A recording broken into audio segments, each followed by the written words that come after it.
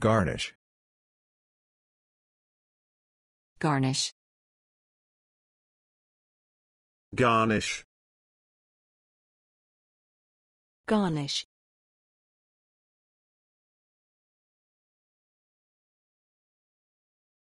This garnish is served with meat, poultry and sometimes eggs.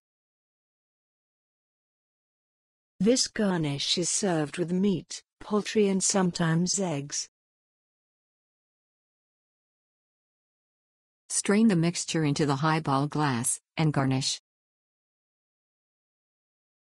Strain the mixture into the highball glass, and garnish. A garnish makes food or drink items more visually appealing.